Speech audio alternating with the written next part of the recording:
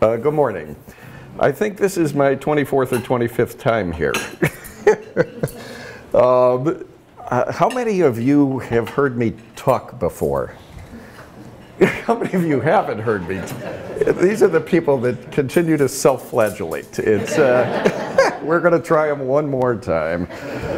Um, I have been here quite a bit, uh, as you know, probably. Um, I'm going to ask one more question at least, uh, just to get a sense of the audience. How many heard the, uh, uh, I, I spoke here in January last year, but I also left some things on the table that I said, we can't cover that. And Doug essentially said, well, why don't you come back in June or July and cover that?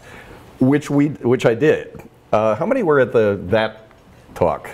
All right, not as many. Good. So I can, I can use the same slides. It'll be perfect. Um, and, uh, uh, uh, well, in any case, I'm back again, and I always enjoy this. And the, the rationale behind this is, is that um, I'm an investor in technology companies. Lead Dog is my company. It's just a front.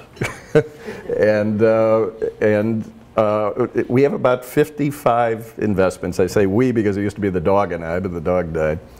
and, um, and so I use this as an opportunity to essentially try to clear my head every year at the beginning of the year because there's nothing like a speech to focus the mind um, about what's going on and how am I going to think about what companies I'm going to invest in, what's hot, what's not, that sort of stuff. And this was always a well-timed uh, thing to do and indeed it sets the tone for other talks that I give during the year uh, as well. So I'm always, it, this has always been a great casual, interactive environment to do this in, and I'm, I'm glad to be here yet again. Because um, it, it does go back quite a ways as to how many times uh, uh, I've done this, and I appreciate that. Thank you. So, um, what are we talking about? Uh, we're talking about what the year looks like ahead, and sometimes it's good to review what the year that just went by looks like. And I really feel that there's somewhat of a paradoxical situation going on. Uh, in one hand, not that much happened last year. On the other hand, a ton of stuff happened last year. And I've been trying to wrestle with this in my head. And, uh, and the reason that when you look at there, the, the side that says there, there wasn't that much that happened, largely the players in the traditional way of thinking about systems actually accelerated their grasp on the market, i.e., the leaders like Amazon, Apple, Google, Facebook, those are now become the platform leaders. Microsoft to a lesser extent. Um, their grip on the market actually increased last year pretty dramatically. But on the other hand, everything else software related um, also went crazy last year. Both of those trends are going to continue. And when I'm talking about software related, Eldon brought this as a prop. he had it in his car. kind of strange. Uh, this is all software. Okay, yeah, it's got some motors in it and all that. But this type of stuff, which we talked about in the talk I gave in, in June or July, I can't remember what month it was, is IoT, Internet of Things, which is now expanding to the Internet of Everything. That side is hotter than hell. So this is this paradoxical situation that not that much happened and a ton of stuff did happen. And in trying to prepare for this talk, um, I tried to wrestle with this because it's getting very hard. It used to be that I could give a talk, you know, years ago, and, and with all due respect, Gene, I had four companies before I joined Lotus.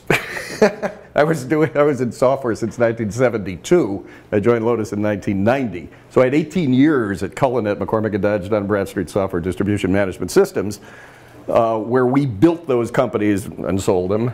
Just by historical standards, I've had 10 companies. Um, we sold every one of them except for uh, IBM, which I worked for. Uh, after Lotus was acquired. I was co-founder of four of those, I'm sorry, five of those companies, and then typically went to work at the companies that I got acquired by and became the CTO of those companies, got bored with that, started another company. So this cycle was wonderful to do, and even going back to 72, that was a great cycle. Lotus was a great time, but since then, we also had five companies. So um, it's, it's been a great run, the, but when you gave a talk, like going back to Lotus times, you had a nice confined area to talk about. I mean, you know, uh, who's going to be the spreadsheet leader? you know, what word processing software is hot? Nice and confined stuff, all right? You know, the operating systems, oh, is it going to be the Mac or Windows? We weren't talking about crazy stuff like this. And so now to try to put an or, a uh, try to put a talk together has become very hard because you're talking about everything. it's the internet of everything. So you wind up having to go back and start thinking about how are you going to describe this stuff? How are you going to organize that which you're talking about? And oh, by the way, you can't talk about everything. you don't have enough time. So we're going to essentially confine this talk into things that I think are really important and we will not talk about things that may be important, but frankly, we just don't have time to talk about. So this is, I'm starting to make excuses already, which is always a bad sign early in the talk. But, uh, but in any case, this is what we talked about last year. when I gave this talk last year, those were the things. So today was really last year today. We talked about platforms, we talked about smartphone, tablets, TVs, and cars. We started already expanding quite a bit there. Interfaces, touch, voice, gesture. Okay. Clomosoco, cloud mobile social commerce. Uh, all put together that these were really going to be important trends and we kind of dove into those. The cloud vendors themselves becoming the core platform technology that really is going to be the basis for the next five, ten years as to how you're going to think about things who's going to be winning there because it goes back to platforms and random thoughts. Um, those things are all extremely valid. We were, you know, I went back and looked at the talk, and for the most part, we were pretty much dead on as to those being the real key elements of what happened last year in building a lot of the foundation for that which we're going to talk about this year. What we said we weren't going to talk about last year which we didn't have time for. This was the one that got the most attention, which was what we did in June. 3D printing, I'm still not going to talk about it this year. Social networking will kind of gaze upon patent idiocy. Again, we'll not talk about. Um, I'll take questions. I've left room since uh, I forget the name of the person who spoke before me talking about being winded, long-winded. I was going to say you haven't seen anything yet. um, and I'm going to spend some time here because this is important, which is financing. Uh, we didn't have time to talk about that. So in trying to organize this talk, I decided I needed a taxonomy. And the taxonomy, I happen to be working on a system that is using this taxonomy, and it's called DMOZ. Uh, DMO, DMOZ.org is the website. But it's the Open Directory project, and it's, it's frankly trying to make a taxonomy of everything. and that's pretty hard to do, but I like the start of it. It's an open source project. I encourage you to go to it. It's pretty interesting. And these are their major categories, these first words here. Arts, business, computers, games, health, home, recreation, science, society, and sports. Those are the highest level of the taxonomy. And conveniently, they fit right into the things that I thought might be interesting to talk about in some way, but I can't talk about these in the general terms that are here. So in that taxonomy, they actually go down to more fine grain elements here. And that's how I've decided to structure this. And so we have arts, but specifically I'm going to talk about television in the arts. The checkboxes indicate which things we're going to talk about today. So we're going to talk about IPTV. That's pretty big. Innovation in finance, at last, you've heard me rail on this before, that the How could it be that innovation is, surrounds us, that we talk about it all the time, it's everywhere, and yet 30 years of venture capital haven't changed? It's changed, okay? That's a pretty big step. And I really am much more positive about this than I've ever been before. Computer systems handhelds, mobile, year of the wearables. We're going to talk about wearables. We're going to talk about the cloud. Amazon is killing it right now. Games, very briefly. Gestural interfaces, I'll just refer to this stuff vaguely.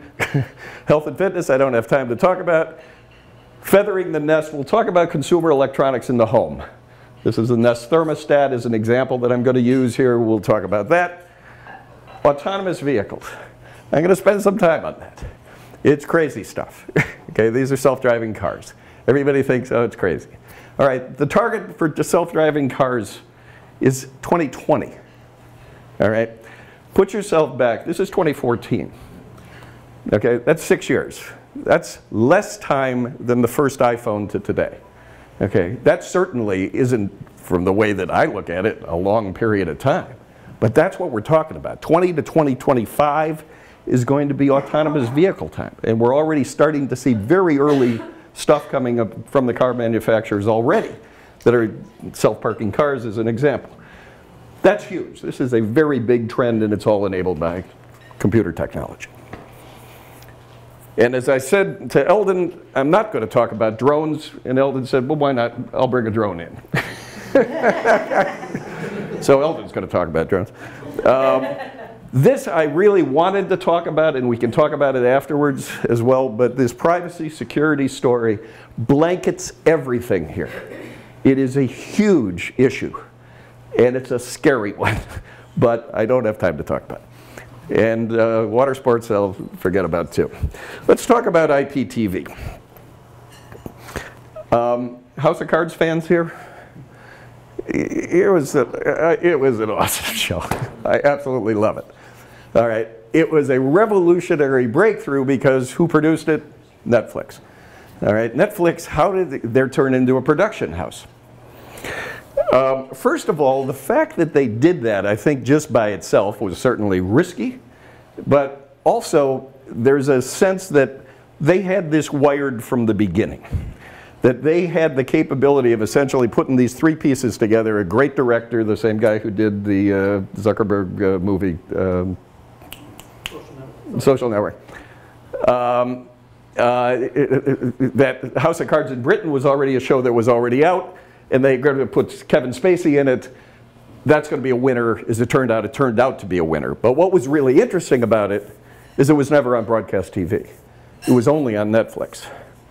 And because it was only on Netflix, you could watch it all at once. You could do what's called binge TV, which is there's 13 episodes. On the day it's released, all 13 episodes are available. You can watch them all in one night. You can watch them whenever you want. You're not limited to the Downton Abbey, gee, I wonder what's going to happen next week. It's just you control it. Beautifully produced, I mean, really an excellent show. This is the future, the way I look at it. It's essentially delivery of content that is of professional quality, but from a completely different point of view than what we're traditionally used to, which is cable shows, network TV, fixed schedules, TV guide, etc.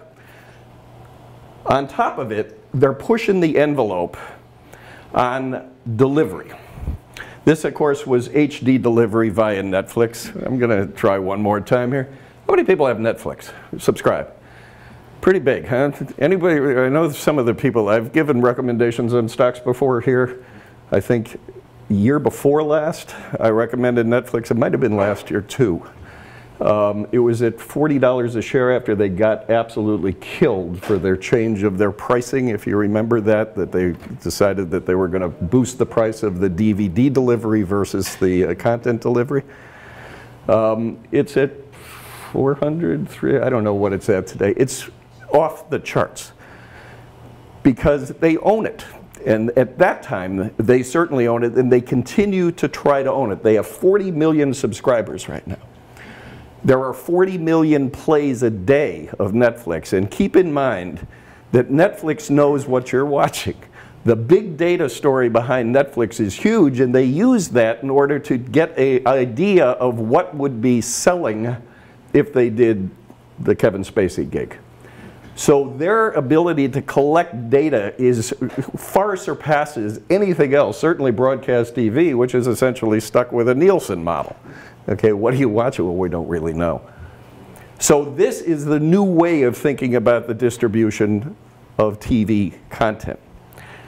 As I said, they're going to come out with House of Cards 2, which will start imminently, I think. I don't know. February 13th. Thank you. Thank you, Paula.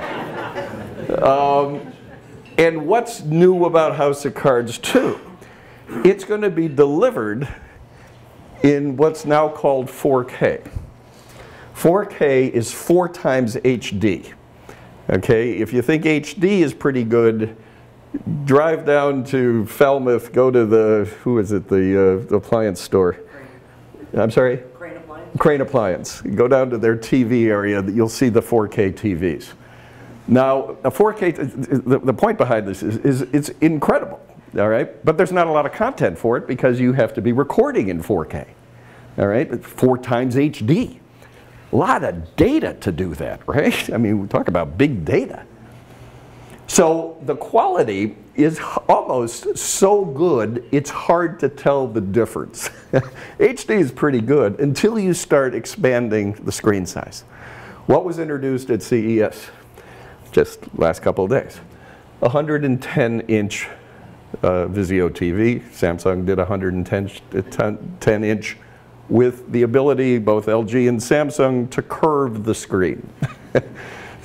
I keep on thinking of the uh, Woody Allen movie, which was the uh, Orgasmatron, which is eventually you could put the whole thing around you, you know, if you curved it. But, uh, but the, the point being is, is that if you're going to get that kind of projection, you better have a lot more pixels on the screen and that's what 4K is all about. So it essentially is making a very, uh, you know, coherent example of if we're making the screens bigger, we've got to have more pixels on the screen. That's what 4K is all about. Um, what's happening is, is that Netflix is going to stream that content.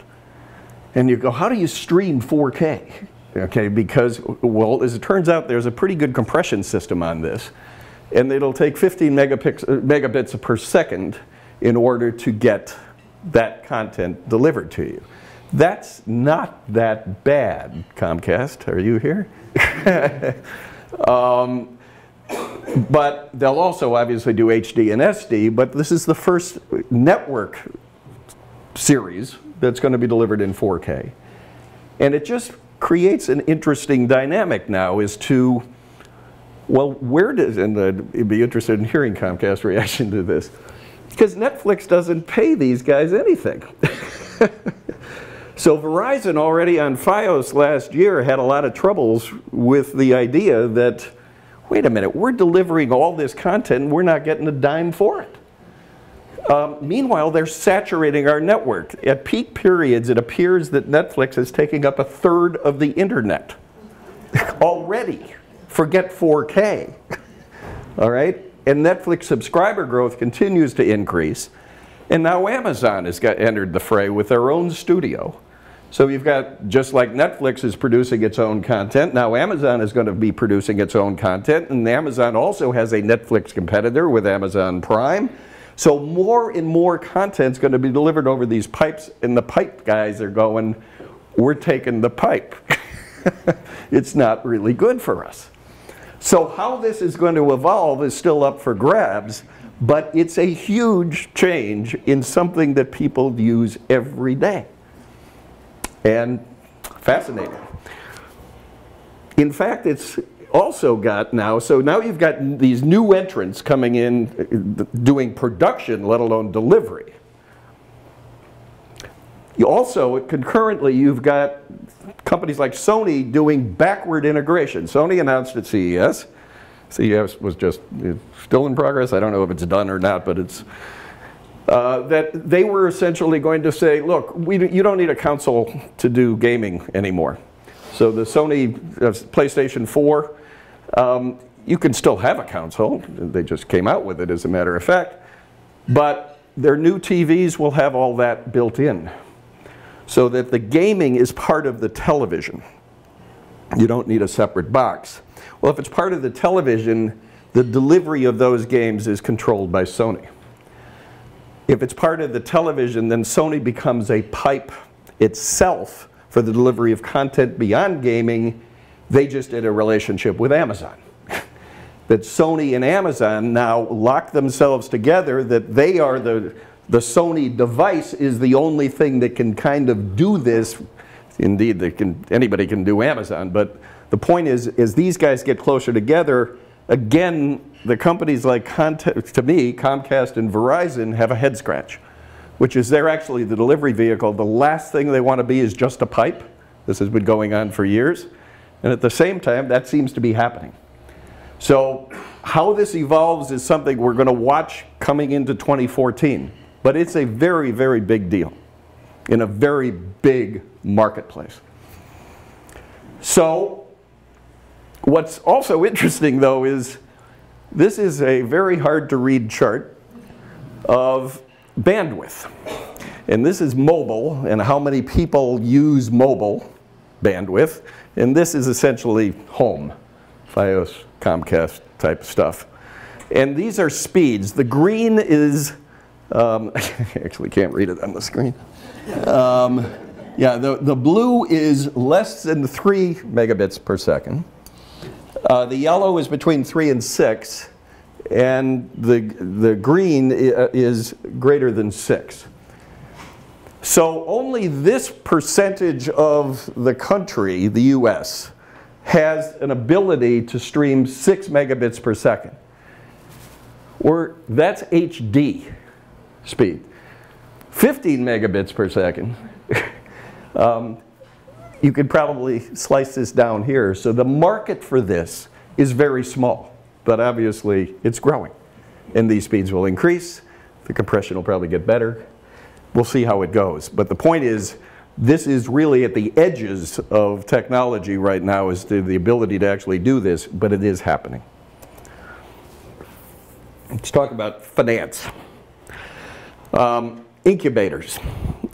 I've probably talked about incubators before. I'm a investor and a mentor in Techstars from the beginning. Brad Feld, who's a friend of mine, who was on his board, he was on my board.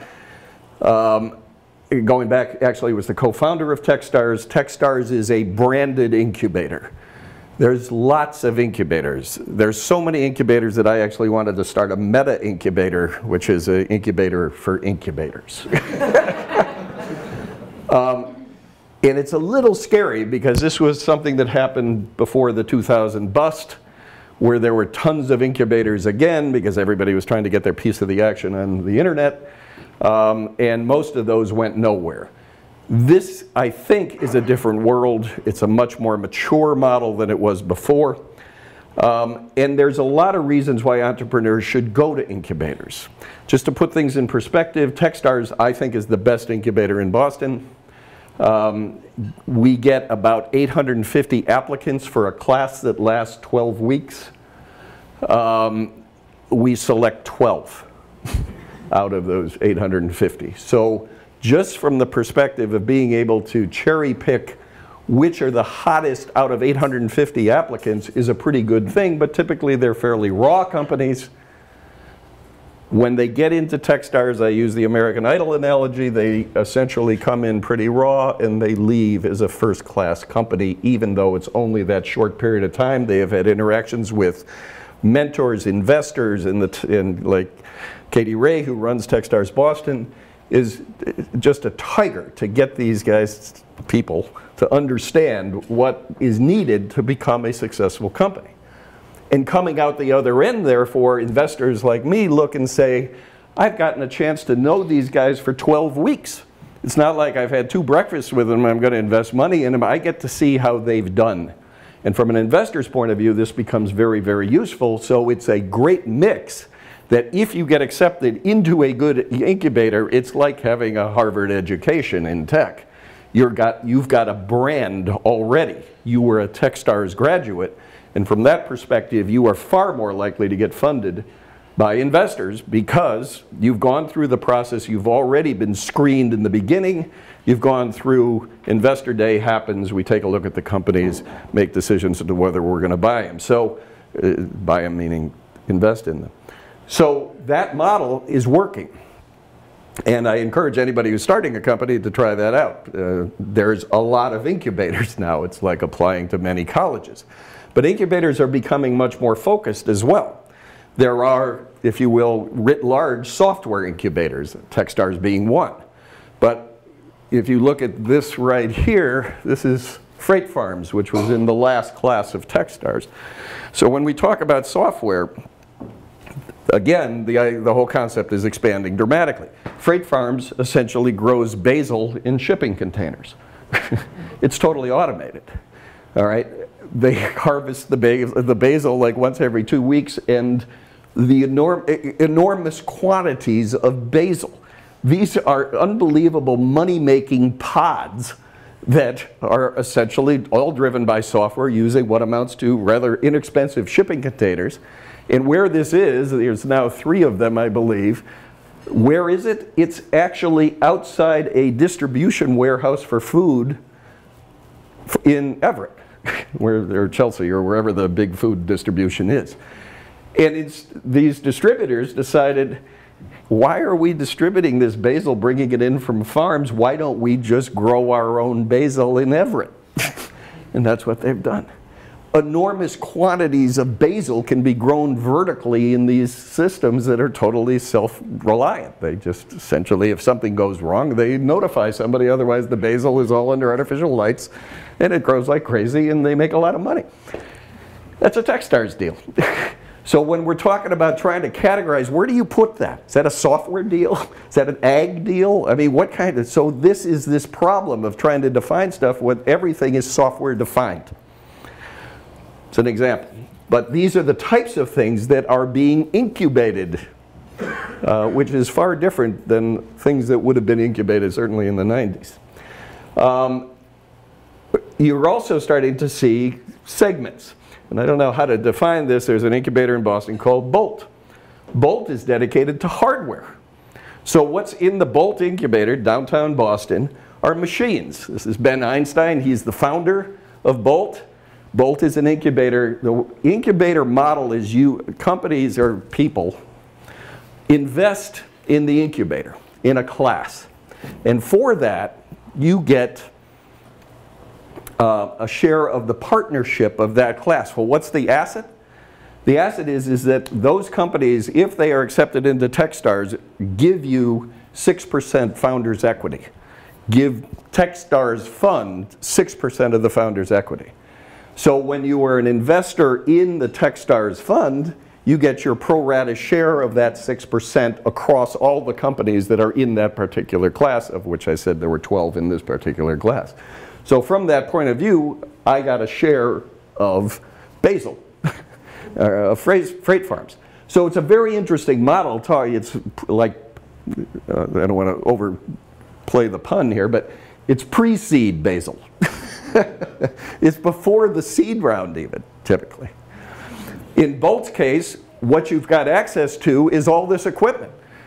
You know, welding stuff. it's like the MIT uh, uh, labs, but specifically dedicated to companies that are being formed that need hardware support.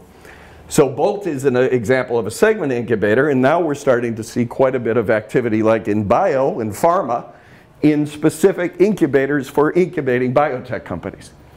All the equipment, again, is there. You get the shared equipment, you've got space, you've got people that know what they're talking about, and you get this kind of uh, team approach that if you're with 12 companies, the odds are that they've got this, and you're all co-located.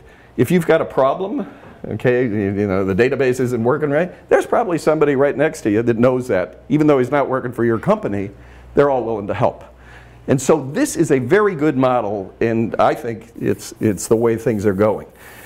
There's two different types of models, though what I call the American Idol model, which is the one we've been talking about, which is essentially they go through the program and then investors take it from there. And there's the, if you will, the Thermo Electron model, if you go back that far. And the Thermo Electron model was more or less, we're going to incubate these companies and we will own them.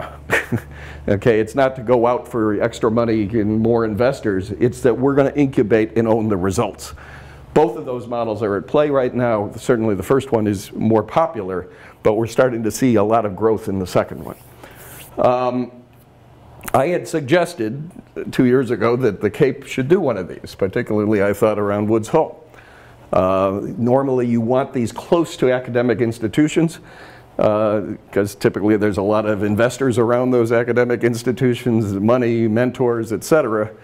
Um, I asked Gene how things are going on that, and they're not going anywhere. I still think it would be an awesome idea for the Cape to do. Um, and particularly that the, this, the, at least the center that it would make the most sense to me is the Oceanographic Institute with a special vertical in the types of marine sciences that the Cape is well known for, but also whether it be around Cape Cod Community College or that, something should happen here. It's too good an opportunity for this area to pass up and it's happening. I'm wearing a Common Angels uh, vest today. I thought it looks quite dashing myself, but uh, um, angel investors. Uh, there's always these battles between angels and venture and what should I do and all that. Well, that's pretty much gone. But I've been an angel investor for quite a long time now. I've been a member of Common Angels since it started. Common, I think, is the best angel group in Boston. It certainly is the oldest angel group in Boston. Um, there's a lot of angel groups, just like there's a lot of incubators. It's been very popular uh, to be an angel because people like to say they're an angel. Um, there's a problem there though. Is that at, the, at somewhere between the 50 and 60 percent level, according to the University of New Hampshire, which does all the statistics on angel investing, uh, people who self-describe as angels have never written a check. 50 to 60 percent of self-described angels have never written a check. So when they join angel groups, the question is, why are they there? Um, one of the reasons they're there, it's kind of like a country club. Okay, we get to hang around with the guys and gals and you know talk stuff as if we're all investors. Except I'm not writing any checks; it'd be too risky. And they're also they're also typically uh, people who were CEOs of companies many years ago, who have what I would consider to be, in many cases, very dated understandings of how the world works. Yet they're not unwilling to try to project how they ran their companies on the 25 year old entrepreneur who's giving a pitch and make the 25 year old feel incredibly stupid. Um, it is a problem, and that problem eventually got to a group of us, particularly around Common, where there were a number of us who were writing checks and the guys who were not writing checks were really insulting to the entrepreneurs and not adding any value to the angel investors who were writing checks. In fact, they were what we refer to as net negative contributors. And so this is a problem with angel groups. And for the most part, standalone angels are going to die. it's just not a viable thing anymore. There's too many companies, okay? This has got, gotten now to be a portfolio approach, which is we're going to spread the wealth across a bunch of companies and hopefully a couple of these are going to work out. That is the venture capital model. It used to be, as an angel investor, I thought I was smart enough to cherry pick companies. Indeed, I did real well in doing that. You can't cherry pick companies anymore. There's too many companies and too few buyers, to be honest. So it's going to be kind of a lucky guess. It's a little more like the lottery than it is like investing now. But in any case, what you want, misery loves company. and so if you're going to do this, it would be better to do it in a more professional way. And what's happened is, is Common, to its credit, has innovated, I think, in the angel community. So far, I think this is the right model. I was part of developing this model, so I've got, uh, obviously I'm biased, but the model is the following. We need professional managers. this is, we want somebody who's actually done this before. The leader of Common Angels right now is Maia Heymann. Maybe some of you knew her. She was, a, I pitched to her years ago. She was head of Bank Boston Ventures uh, for uh, ages, uh, then went to Schott, which is a private equity firm, decided to retire, decided she hated retiring, and coincidentally, she was also a Common Angels member. So Maia decided to come back, and now she is the managing director of Common Angels, a professional investment manager, combined now with James Geshwiler, who's been there quite a long time, as a Common Angels head. So we have two managing directors and a very small staff, uh, Heather and George, uh, that essentially run the, the Common Angels Fund and Common Angels. What am I talking about? The Common Angels Fund how do you get rid of the people that aren't writing checks? By forcing them to write checks. and that's the deal. Common Angels always had a fund that was just like a venture fund. They had outside money as well as our money so that you could invest in the fund and kind of get a diversification and then you could cherry pick deals that the fund was interested in or that you were interested in the fund might invest in, but those were two different, two different approaches. What we did is combine them. You can't be a member of Common Angels without writing a, quote, significant check to the fund. So that got rid, that reduced our membership rather dramatically. but what it left us with is a core of passionate angel investors who are now not members of this country club, but who are partners in a fund who can also double down on deals that are attractive deals because they want to invest more money in those deals, but also get the benefits of diversification across the entire fund's portfolio. On top of it, we focus completely that the customer is the entrepreneur. And we're going to treat entrepreneurs well. For the most part, the guys that are left are all ex-entrepreneurs. They're not like ex, you know, IBMers. I was, I was one. But and we have an investment committee. The investment, so it looks like a venture fund. The investment committee meets twice a, well, Common Angels meets now twice a month, not once a month. Why? So we can invest quickly. Because the biggest problem with angel groups is you can't. They don't, they don't move like molasses. They're worse than venture guys. Not us. We now move like crazy, okay? We make deals happen quickly. And from the entrepreneur's point of view, they go, this is awesome. I don't have to go to 25 different guys. I don't have to have breakfast uh, like crazy. Essentially, the investment committee and the management of Common Angels is now got deal flow coming in that is significant, that is then shared with the partners, and then the deals are essentially quickly put together and made. I think it's a very good model. This guy here is the top guy. I really like that guy. Uh, uh, that's me, in case you can't see it, on the investment committee, and that's, um, I think it's working. So this is a new innovation, in you, if you will, in both venture and angel investing. And it's working. It gets things, and what's beautiful is that there's now a nice path to go from incubator to angel group, okay? We work very closely now with the incubators because the biggest problem with the incubators when they come out the other end, the companies, who takes them over? Where's the adult supervision? Where's the professional management? Who's going to be on the board? These are all problems that angels have had, which is, and incubators have had. I think we've got a solution to that. Again, this is starting to become a different model. Another model, though, that is just relatively very recent is crowdfunding. And this is Kickstarter is my classic example here. This is a new way of funding business. So we talked about IoT in the talk I gave before, Internet of Things. And Internet of Things isn't like the way you invested before. The markets are probably, you know, when you look at this, this isn't going to be Amazon. okay? This is a limited, you know, marketplace. It's not like swing for the fences Facebook. So how do you fund those if the venture capital model is looking for Facebooks? Something had to give because these companies weren't getting funded and what gave was crowdfunding. And crowdfunding has two models, the first of which is what's called a donation model. You're not making an investment.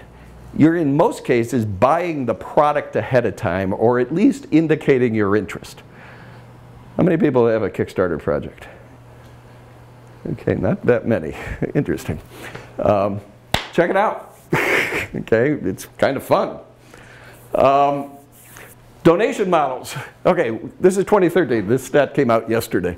$480 million was raised by, from 3 million people for Kickstarter's projects last year. Um, the way this works is you decide you want to do something. you in the there's two major players here. Kickstarter's one, Indiegogo is the other one. Kickstarter is, if you will, more professional than Indiegogo because they actually screen, uh, accept you to your project to be put on the Kickstarter site. So you have to apply to Kickstarter to have your project done. Uh, let's talk about a real project. This is one that I did. it's hard to see. This is a bicycle. Uh, this is the wheels of the bicycle. And these guys, Monkey Light Pro, figured out a way to do LEDs on the inside of your bike wheel so they would project animations inside the bike wheel. Now, is there any better idea than that, really?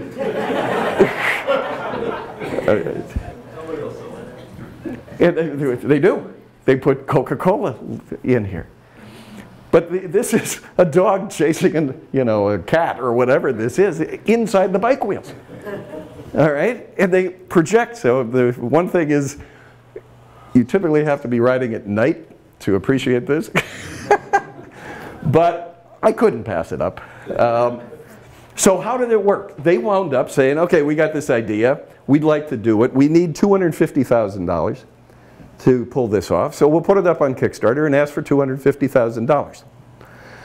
Okay, when you look at Kickstarter, there are various segments that, or various quote unquote products you can donate to. One is a t-shirt that probably has this picture on it that's, you know, $15 and you get a t-shirt back. That's at the low end. At the high end, you got to buy the product. Okay, I don't know how much this I paid for this. Too much, I think. um, but probably uh, 500 bucks. So you write them a check for 500 bucks, and what happens is, is that they put a goal together as to how much they need to raise. I said 250 on this one, it might have been 150, who cares? People sign up and you give them your credit card and say, I'm going to I'm going to donate to this in return for getting an early version of the product or a t-shirt. Not until they achieve their goal of $250,000 is your credit card charged. So it's not like they didn't make enough money and you've lost the money. That's a little more like Indiegogo. I'll come back to that. But in Kickstarter, until that goal is reached, nobody's credit card is charged. If it is reached, contractually you're obligated, they're going to charge your credit card. All of a sudden that funding is done. They got their $250,000 and off they go. You have no equity. There's no investment from the entrepreneur's point of view. It's a pretty good deal. You've already sensed the marketplace. If nobody signs up for it, who gives a damn? We're not going to sell any, so we better have some other idea. So it's a great market test to see what's going to happen here if you're looking for investors, what a great thing to show. We just raised $250,000 in pre-sales of a product we haven't even started to make. That's a pretty impressive thing. And, uh, and from, again, from the entrepreneur's point of view, if you didn't need investors and 250 is what you needed, you own 100% of the company and off you go. This is a very new way of financing stuff at the low end that's never been available before. Um, and it's working. Um, when you see the size of those projects, that 3 million people contributed to Kickstarter projects from 200 companies, or what does it say here?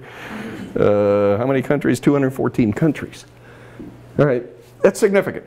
Again, I encourage you to take a look it's fun to look at these projects because it, you'll do what I did. You'll do stupid things. I bought this one too. See, see that? That's a robotic aquatic robot. that when I go sailing, it'll chase me. and it'll take pictures of me as it's doing it. Um, and I control it from the iPhone. Aquadrome. It is. It's an aquadrome. I th- thought this is the answer to shipping for Amazon to islands. Yeah. but, but this is, where did this project originate? Where's, where's this being built? And it's being built in the Azores. it's in the Azores. I funded projects in the Azores. But this shows the power of this.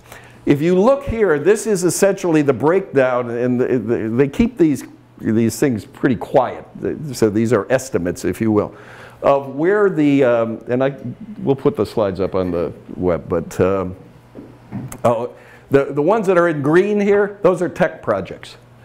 So the tech projects, like I bought, if you will, aren't really a lot of what this is. What is this?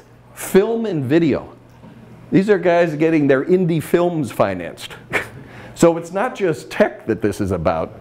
This is authors, books, photographers, etc., getting what amounts to donations or early releases, if you will, of stuff that people think is interesting. In some ways, I've always said that there's two types of angel investors, philanthropic and real investors.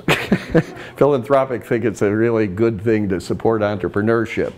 Uh, I'm good with that, but I don't want to really lose all my money doing that. So I like investors more. This is, for the most part, you're buying product or you're supporting somebody in the arts. Uh, it's cool. It's new stuff.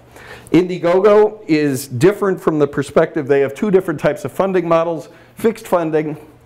Uh, fixed funding, it works like you've got to raise the money before we charge your credit card. Flex funding says no, we're going to charge your credit card as soon as you sign up. And the entrepreneur makes the choice of which way they're going to go. Most of the stuff is done in fixed funding because you eliminate the risk because you don't want to have a project that's only going to get half, half funded. This is different. So that's the crowdfunding model using the donations. Concurrently, there's now crowdfunding for angel investors, okay, where you're taking equity. Um, there's a thing called AngelList. This is me on AngelList. Um, what happened in September, I think it was, of last year, is AngelList kind of really upset the apple cart. It used to be that that it was like a Facebook, Twitter type of thing.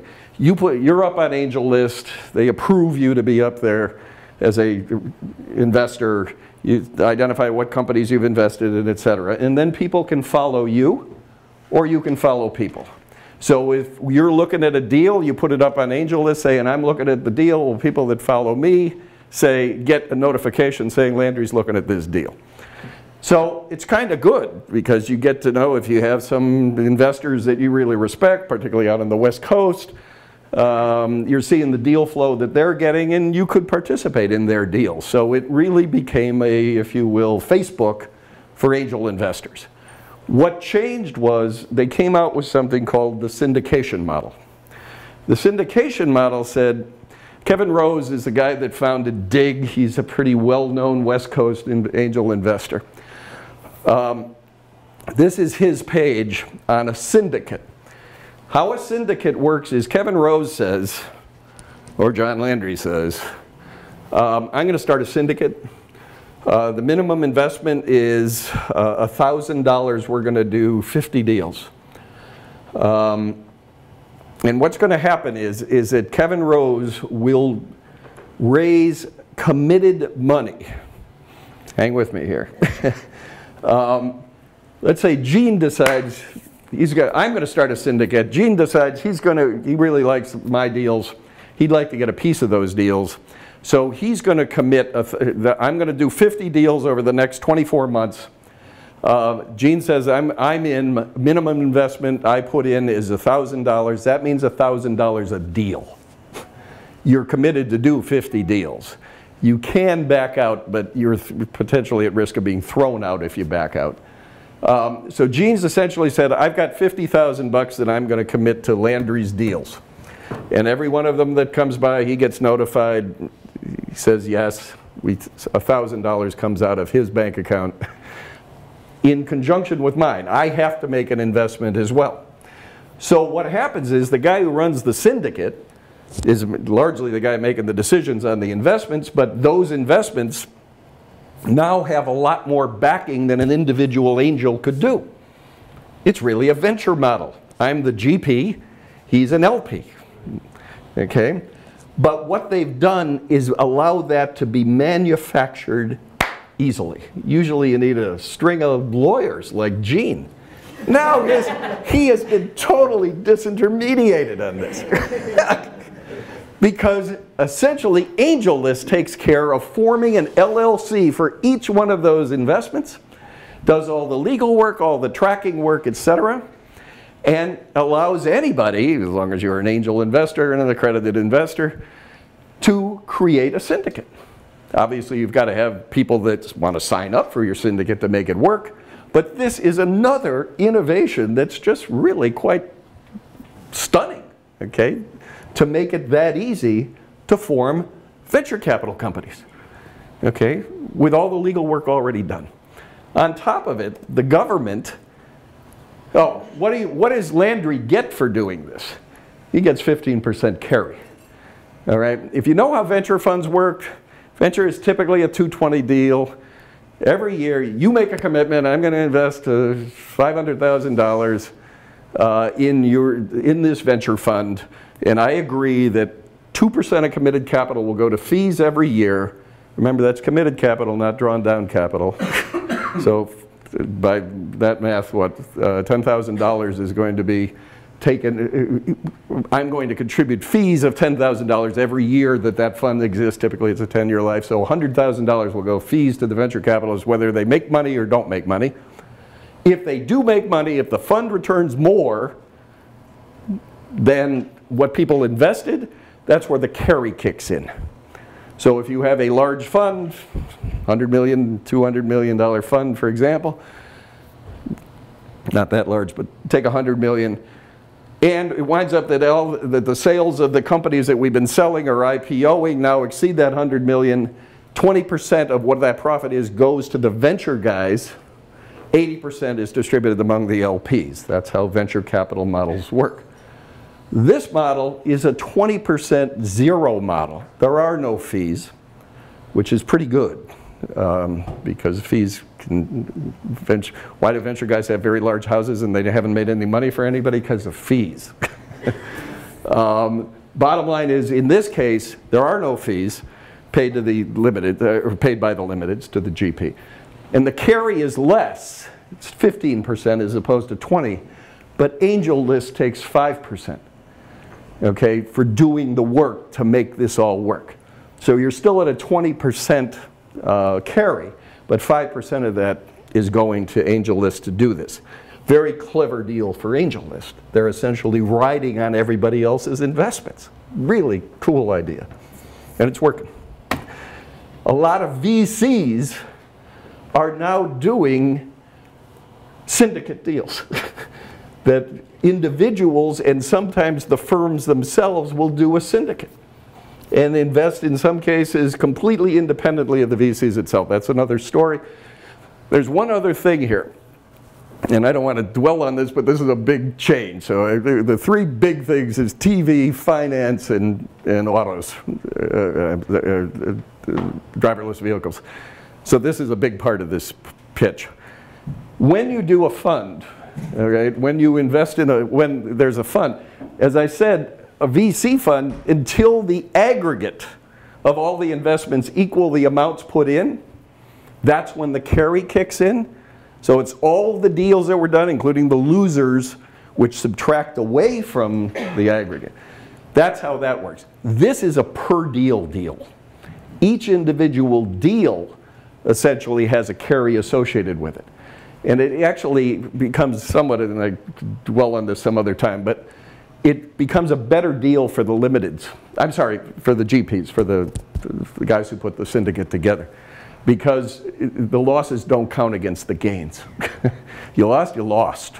All right, sorry.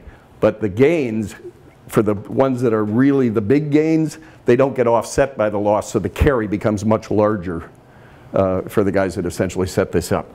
That's increasingly the way even VC deals are starting to get done as a per deal deal as opposed to the aggregate fund itself. Uh, this is good for entrepreneurs, I think. There's some debate about this. There's a lot of debate in the venture community about this. This is a really hot topic.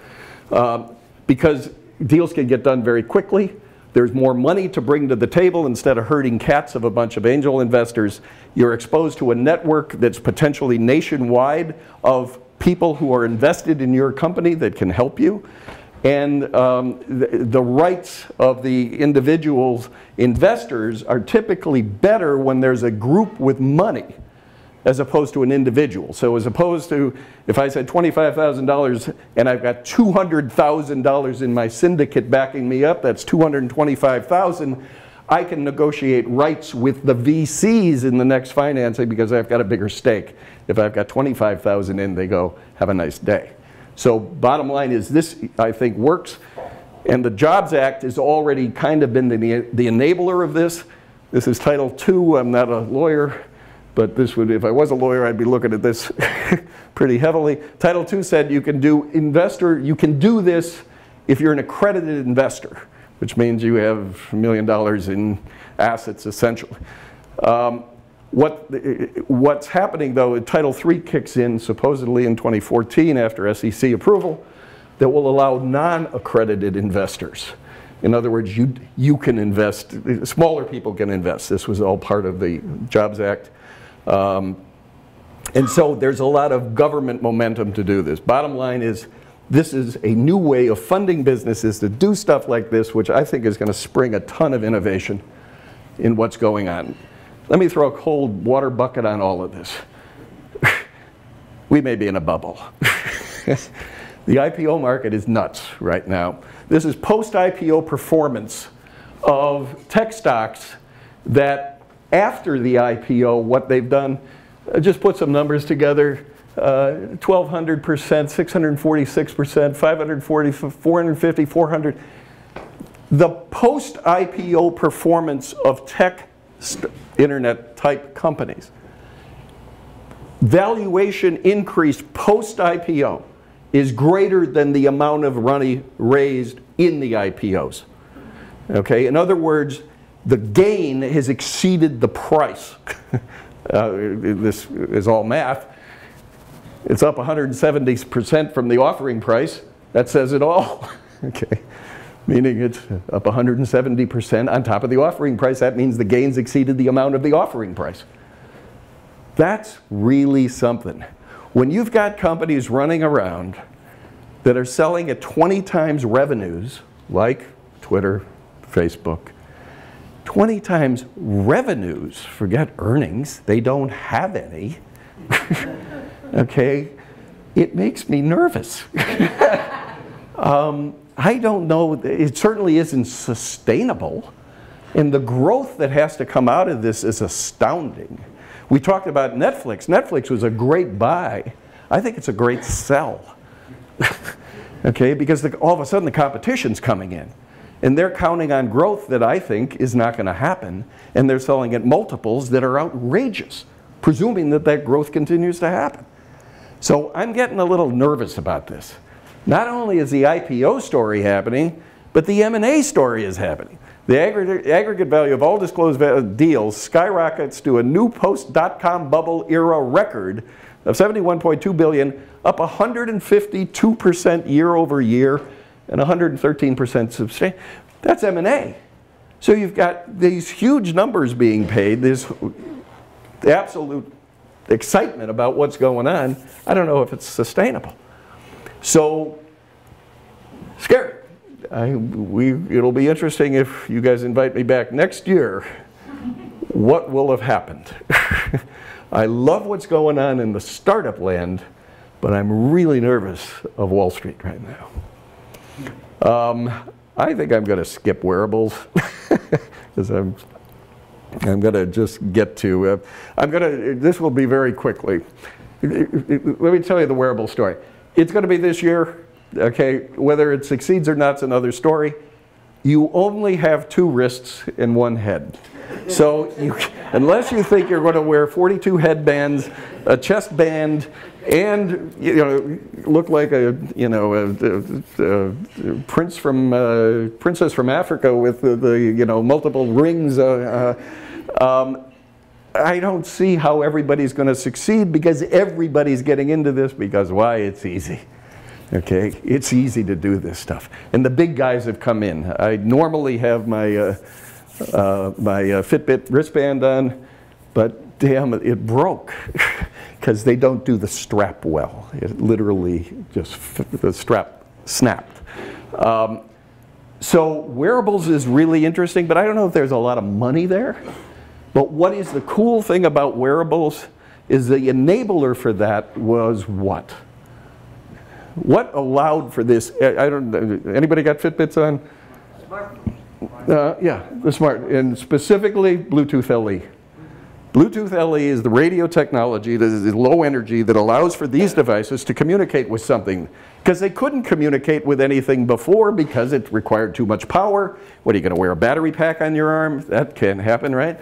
So you needed something with very low energy that could talk over a very short distance because that's what low energy is about. To what? The phone. okay, and it's only because of Bluetooth on the phone and multitasking operating systems on the phone that allowed for this explosion of devices to happen. So it will continue to explode, all right? But the enabler here is the phone, and we got to always kind of remember that, but we should be thankful for it because otherwise none of this would have happened. Um, I'll leave that alone. That's on the device side. We're seeing a lot more, uh, tons of activity there. Everybody's going to have this stuff. It's going to be measuring everything. God help you on the privacy story. Because the guy next to you could be picking up what your heart rate is. And then, you know, buy an insurance policy on you or something. It's, uh, it's, it's a, this privacy story is way behind the technology story. Uh, I don't know what Bluetooth, what's going across from my Fitbit to my phone. I don't know if that's in raw data. I don't know if it's encrypted. My guess is it's probably raw data. more and more, this is going to be an issue. The back end of these systems, after the phone gets that information off the device, it talks to something, it's typically going to be in the cloud. Okay, it's going to use either Wi-Fi to do that or it's going to use LTE to do that. To who? This was Gartner 2010 cloud vendors, infrastructure vendors. This was IBM, this was Amazon. If you know the Gartner, you know, uh, I presume everybody here knows how Gartner works. But you want to be up here. you don't want to be down here. This is an area that you could kind of move up in. This is an area that you you're you're a niche player in a very big area. You don't want you know in a big market. You don't want to be the niche player. You want to be the leader. So this is where you want to be. Amazon was here in 2010. This was IBM, uh, NTT data, you know, uh, Japan. Um, Verizon up here, Rackspace up here, Savvis up here.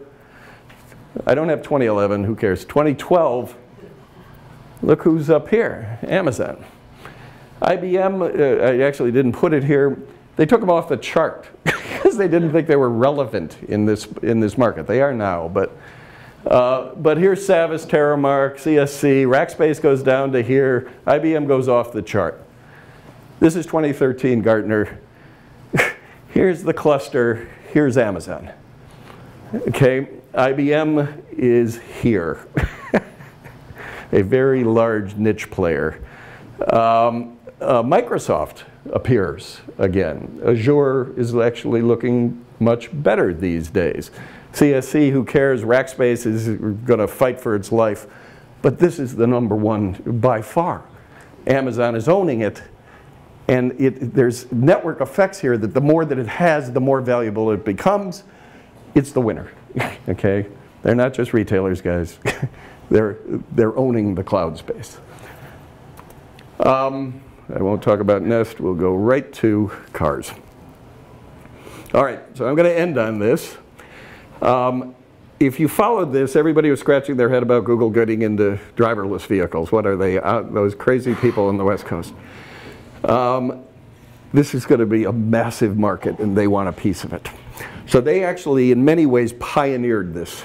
Okay, in 2010 they introduced the first driverless vehicles. Um, they got the state of California to essentially modify the laws to allow driverless vehicles. State of Nevada did as well. Um, you still have to have somebody in the driver's seat, but the car can be essentially going by itself. Um, there's a lot of advantages to this. Um, luckily, I came down at 5 in the morning. This morning, there was no traffic. When I'm in Boston, going in from Wayland, Massachusetts in the western suburbs to Cambridge or to Boston at 5 p.m., going in is worse now than going out. okay, I am just sitting at 5 miles an hour and don't use your cell phones, don't use, don't text anybody, don't get on the internet. Don't even look at your thing to figure out which songs to play on Spotify because potentially you're going to be arrested. um, why doesn't the car just drive itself? We're only going five miles an hour. why do I have to be the guy doing this? Um, and it's really bad. It's such a waste of time. In the United States, the average commute now is two hours a day. That's a pretty big productivity loss, and what a way to spend your life sitting in your car in traffic. Um, so the idea of having a driverless vehicle has quite a few advantages. Safety, I can distract myself as much as I want, okay? It doesn't matter. Two hours a day I pick up, theoretically, at least I can do something more useful. Um, the, the optimization in the traffic, if you figure that, you know, back in the old days it used to be one car length for every 10 miles an hour you're supposed to follow the guy. Okay, well, based upon me going five miles an hour, I should be in his back bumper by now. But, uh, but you can optimize the spacing because the computers are figuring it out, right? It could look like a train going down the Mass Pike. Um, parking. Drop me off at the building, go park yourself. okay? And shopping, all right? You go get the groceries. They'll put it in the car, you come back, right? I mean, the, the car will get the groceries for you. So these things are real advantages. In other words, there's a market for this. And the market's going to get better and better as time progresses because traffic is getting worse and worse. So you could be like this person which is you're driving, but you're actually reading some catalog. but the car's driving. There's lots of issues here. who, who, if the car gets in an accident, who was driving? Whose liability is it? Yours? The company who made the software? That's an issue. Regulations, but they're starting to loosen up already because this is becoming a hot market that states want to have a presence in. So we're not going to have laws that essentially restrict that because this is going to happen. Um, there's issues about slurring, which is you're really drunk and you get in the car and they take you to Rome. and you wake up in Rome instead of home.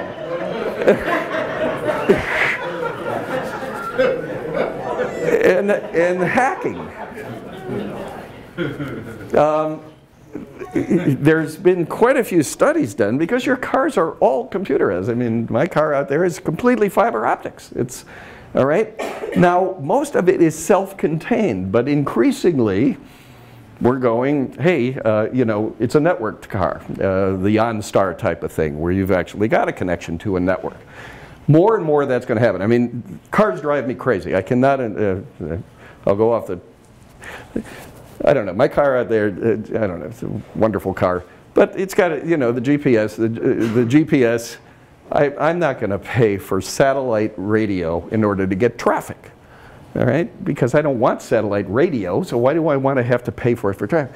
So I have Google Maps, which is free, which does a spectacular job on traffic in routing you around traffic.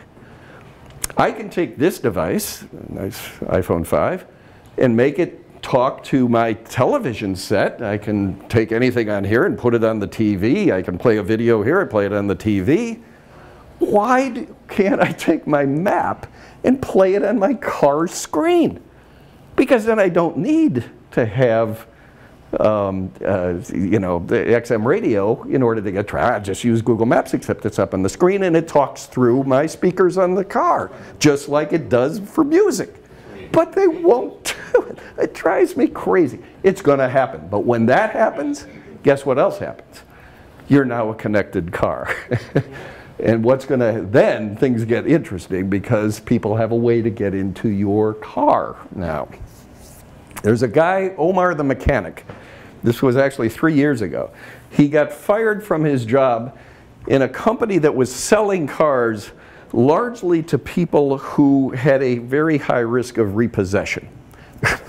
so they decided, given that they were doing the financing on these cars, that they wanted an easy way to disable the car so that it could pick it up again. Well, Omar the mechanic was working, and the way that that system worked was there was a box that was hidden under the dash, and it was connected to the pager system. And they could essentially page the car and disable it, honk the horn, do all kinds of bizarre things, flash the lights, uh, without the driver having any control of it. Omar was a mechanic uh, at this company, and he got fired. So he decided, I'm going to get back at these guys. And he took the list of all the pager numbers, essentially wrote a, he was apparently a very good computer guy too, that caused all the cars that this dealer had ever sold to be both disabled and honk their horns continually. that was a number of years ago using pager networks. But the point is, if people can penetrate your car things like disabling the brakes, stuff like that is all possible because all that stuff now is controlled by computers that are in your car. And so again, this privacy security story is going to become more and more important. And this is against a backdrop of what we've been hearing with NSA spying and break-ins on target and all this sort of stuff, which shows that we're incredibly vulnerable in the existing systems we've had for years, let alone systems like car systems that for the most part most people have ever never even thought twice about security around the systems within their car. So this is going to be a big issue. If there's one stock technology or stock that I'd be looking at, and I'm not going to give you company names now, I'll give that some other day, but it's the security companies.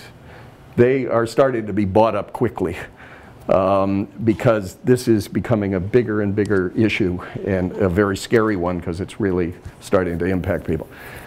Um, autonomous vehicles, it's not just Google, everybody's starting to do it. Google just did a deal with Uber, if you remember, you know, Uber, Uber is essentially, uh, you know, the car service that other people's cars, you say, I want to be an Uber driver. I say I want to ride to the airport. Uber essentially links me up with a driver who's going to take me to the airport presumably screened and all that sort of stuff. Google did a deal with Uber. The joke is Goober. Um, and for drivers, largely they want driverless Uber. okay? That essentially the cars, it's Boston Coach without the driver. Uh, it's going to come pick you up, take you to the airport, and Uber is kind of become the brand now, the go-to brand for this type of thing if they can equip these cars or use these cars, they've got a potential lock on what amounts to a very interesting market. Audi has started to become, all the major players are in this now. And CES, if you go and look at some of the stuff that was even demoed at CES, um, Audi is in 2017 doing pilot assisted. Pilot assisted means that it's going to um, if you're in traffic, it's going to do exactly what I said I wanted it to do, which is it's going to figure out optimal distances between you and the car ahead of you. Uh, it's not going to do all kinds of crazy steering. It's going to have a camera that's looking at you to make sure you're not asleep because you've gotten so bored and doing nothing uh, that you thought you'd take a few winks. But look at the timing on this. It's 2017. We just entered 2014. We're talking about pilot assisted vehicles the first step towards autonomous vehicles in 2017. Nissan did a full public roads demo in Japan, uh, driverless. uh, so here's this car getting on the freeway in Japan, driving 60 miles an hour. Guy looks over, he goes, there's nobody driving the car. and Uh, Nissan is all over this. The CEO is passionate about that this is going to this is going to be the case. They're targeting 2020 for retail sales of autonomous vehicles. All right. Um, their belief is by 2025, 10% of the cars on the road will be autonomous vehicles. Um, again, 2020 is less than the amount of time since iPhone 1. Okay, so it's real close, much closer than even I thought.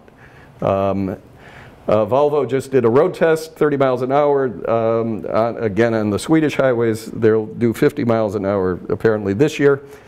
Uh, BMW, because it's BMW, decided to do a, uh, take one of their sports sedans, uh, let it loose on a racetrack, including controlled skids around the turns, totally driverless. Um, and then we have General Motors. Now, I can see a 6 Series BMW, you know. I can't see myself in this yellow car here. Um, that's, that's their concept car. Uh, um, I don't know, it's a, it's a, it's a Chevy. Uh, it's, apparently it does everything, and it, it's, it's I, unfortunately there's not a picture that shows a human being in it. So maybe it's just a car that drives around by itself. There's no need for humans. But, uh, but I don't, uh, I, this, when I was looking at all the other cars that look like cars, this came out as somewhat of a surprise. So I'm going to wrap this up, and the point being, and I'll just come back to where we started, which is this was an incredibly boring 2013. We're going to see a continuation of the 2013 boredom story, uh, i.e., Amazon's going to become more powerful. There's going to be a lot more devices um, uh, that are talking Bluetooth. And so the base technology, I don't think, is going to change. The applications of that technology, which is the key change in what we're talking about today, are going to go crazy. So we've got a very interesting paradox that continues. I think the hot buttons are the way that things are going to get financed, will enable all this creativity and innovation to occur.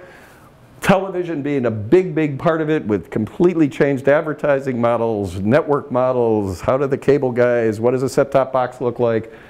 Uh, all that sort of, sort of stuff is a very big deal, and I think the other very big deal is recreation and travel.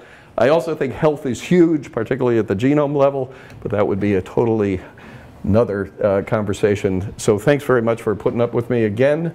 And uh, I'm going to just open it up to uh, what, whatever you guys want to talk about. Thanks.